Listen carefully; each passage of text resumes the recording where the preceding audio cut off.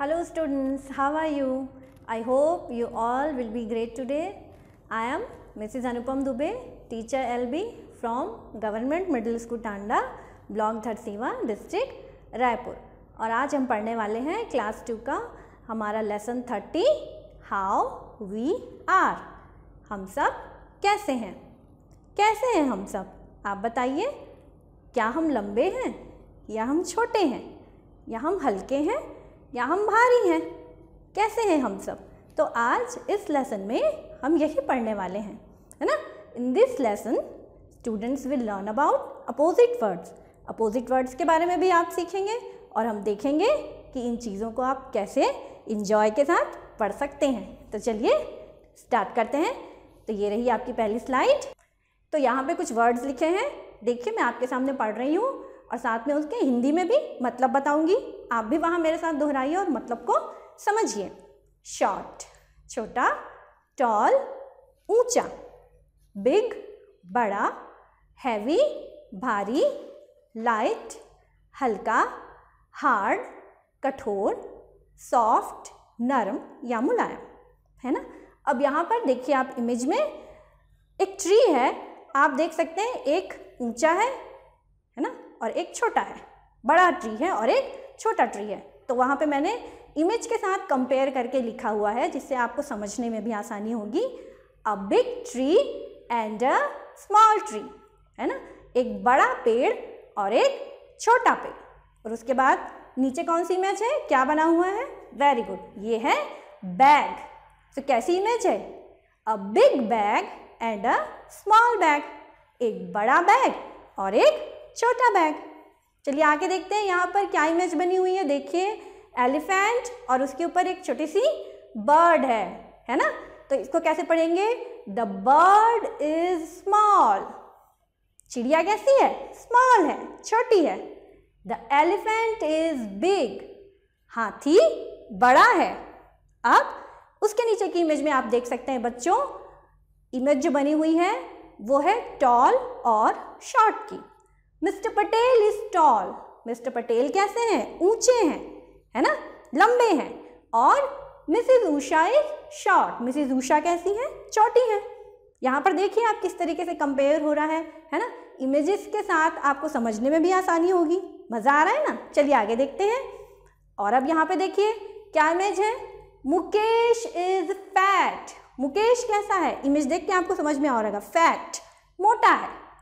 Aman is thin और अमन कैसा है? पतला दुबला है है ना? और देखिए यहाँ पर इमेज बनी हुई है, एक टेबल की और एक चेयर की। तो क्या लिखा हुआ है मैंने? दिस टेबल इज़ हैवी ये टेबल कैसी है? हैवी है, यानी कि भारी है। दैट चेयर इज़ लाइट वो चेयर जो है वो हल्की है लाइट है। ठीक है? और यहाँ पर देखिए एक्सरसाइज है, यहाँ पर मैंने लिखा है repeat the opposite word after your teacher मतलब कि मैं जो वर्ड बोलूँगी अपोजिट वर्ड आप मेरे साथ साथ रिपीट करेंगे, उसको दोहराएँगे, ठीक है? ताकि आपको इन अपोजिट वर्ड्स को याद करने में आसानी हो। ठीक है? तो मेरे साथ आप भी दोहराइए। टॉल शॉर्ट एक बार फिर से। Tall short fat thin fat thin top bottom. Top bottom. Big small. Big small. Long short. Long short. Hot cold. Hot cold. Dry wet. Dry wet. Hard soft hard, soft, ठीक है? और एक यहाँ पर और एक्सरसाइज वर्क है, ठीक है? Look at the picture below choose the correct answer and rewrite the sentences ठीक है ना? आपको ये पिक्चर्स देखनी है। पिक्चर्स में क्या है? दो लोग दिख रहे हैं, रामू और सोमू, ठीक है? एक एग्ज़ाम्पल यहाँ पे दिया हुआ है। आपको चूज़ करने का काम करना है इसमें बच्चों, ठीक है? ना चूज़ करना है मतलब किसमें चूज़ करना है? जो वर्ड्स ब्रैकेट में लिखे हुए हैं। उसमें से सही जवाब आपको चूज़ करके फिर से रीराइट करना है, यानी कि फिर से लिखना है। तो देखिए एक एग्ज़ाम्पल मैं आपको बता रही हूँ। रामू इज़ टॉल जैसे कि इमेज में भी आप देख सकते हैं, रामू जिसका नाम है वो थोड़ा ज़्यादा लंबा है, ठीक है? और सोमो इज़ सोमो क्या है? टॉल है कि शॉर्ट है? तो ऑब्वियसली जैसे कि आप इमेज देख के समझ पा रहे हैं कि सोमू तो शॉर्ट है तो आंसर हमने फिर से लिखा, सोमू इज़ शॉर्ट तो वैसे ही फिर से नीचे में है मीरा। देखो नीचे दो इमेजेस बने हुए हैं, दो गर्ल्स की, मीरा और लता। ठीक है ना? मीरा इज़ फैट और थिन दो ऑप्शन मैंने दिए हुए हैं ब्रैकेट में। मीरा कैसी है?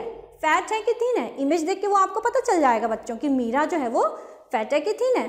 तो आंसर हो गया, Meera is thin Lata is fat और थिन अब लता कैसी है? वो फैट है कि थिन है?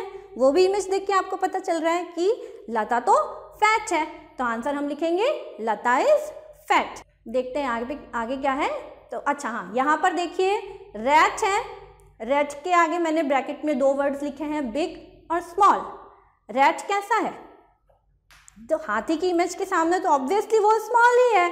और rat is small and elephant is big और स्मॉल और एलिफेंट कैसा है? बिग है कि स्मॉल है? राइट एलिफेंट इज़ बिग बहुत बढ़िया। आप बहुत सही जा रहे हो, बहुत अच्छी कोशिश चल रही है आपकी। तो इमेजेस के माध्यम से आपको ये कॉन्सेप्ट जो है वो और अच्छे से क्लियर हो जाएगा, है ना बच्चों? ये अपोजिट वर्ड का कॉन्सेप्ट है जो आपको तस्वीरें देखकर ये चीज़ें दिमाग में बहुत जल्दी बैठती हैं। तो आपको भी ये कॉन्सेप्ट क्लियर हो रहा होगा, ऐसा मुझे उम्मीद है। आगे देखते हैं, चलिए। Listen to the instruction of your teacher and draw the picture है ना? यानी कि आप मुझे सुनिए, मैं आपको क्या इंस्ट्रक्ट कर रही हूँ, क्या निर्देश दे रही हूँ और उसके हिसाब से आपको पिक्चर ड्रॉ करनी है पिक्चर बनानी है। तो पहले कैप की मैंने इमेज यहाँ पर डाली है और क्या लिखा है? Draw a small cap near the big cap तो जो इमेज है वो बिग कैप की है तो आपको एक स्मॉल कैप बनानी है। स्मॉल का मतलब तो आप समझ ही गए हैं कि स्मॉल मतलब छोटा, है ना? तो जो ये बिग कैप है, उसके बगल में आप एक क्या करेंगे? स्मॉल सी कैप की पिक्चर ड्रॉ करेंगे।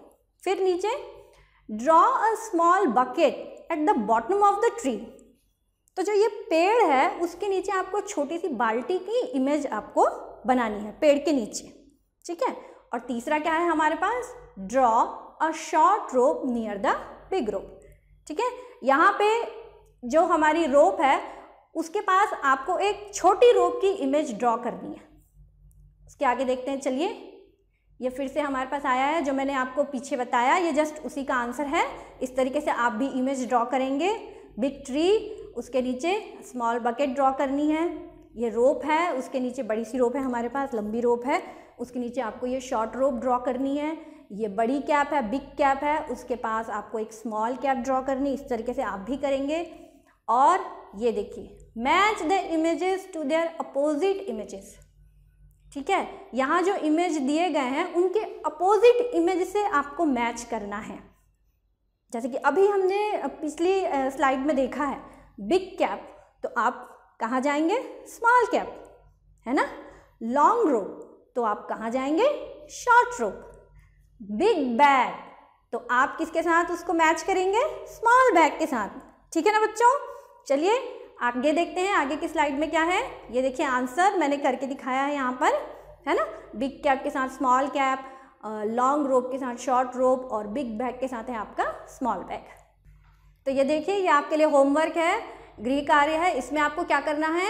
Draw lines to match the opposite word ये जो अलग अलग शब्द दिए हैं, ठीक है ना? जिसको हम हिंदी में विरुद्धार्थी शब्द भी कहते हैं, इनको आपको मैच करना है अपोजिट वर्ड्स को. तो ये दोनों साइड के वर्ड्स बच्चों में पढ़ दे रही हूँ और उनके हिंदी में मतलब बता दे रही हूँ। आप उनको क्या करेंगे? मैच करेंगे। ठीक है? हॉट गर्म बिग बड़ा टॉल लंबा फास्ट तेज सॉफ्ट नर्म या मुलायम हाई ऊँचा। अब दूसरे साइड के वर्ड्स देख लेते हैं। शॉर्ट छोटा स्लो धीरे हार्ड कड़ा या कठोर लो नीचा स्मॉल छोटा कोल्ड ठंडा। ठीक है? तो मैंने आपको मतलब भी बता दिया, अब आप आसानी से मैच कर सकेंगे होमवर्क और जैसा कि आज हमने इस लेसन में किसके बारे में पढ़ा बच्चों? अपोजिट वर्ड के बारे में। तो आप अच्छे से समझ गए होंगे कि अपोजिट वर्ड क्या है। यानी कि जब हम कंपेयर करते हैं, एक अगर मोटा है तो दूसरा पतला है। ठीक है ना? बिल्कुल उससे अलग, उससे उल्टा। इसको कहते हैं अपोजिट वर्ड जैसे कोई मोटा है, कोई पतला है। ठीक है? कोई बड़ा है, कोई छोटा है, कुछ ऊँचा है तो कुछ नीचा है। तो ऐसे वर्ड्स जहाँ पर आते हैं, जैसे बिग के साथ स्मॉल आया, ठीक है ना? लॉन्ग के साथ शॉर्ट आया हॉट के साथ कोल्ड आया जस्ट अपोजिट मीनिंग मतलब उनके मतलब भी अलग। तो ये वर्ड्स कहलाते हैं अपोजिट वर्ड तो आज इस लेसन में हमने इसके बारे में सीखा। आशा करती हूँ आपको ये लेसन पसंद आएगा। आप अपना होमवर्क भी अच्छे से करेंगे और अब हम मिलेंगे नेक्स्ट लेसन में। तब तक के लिए धन्यवाद।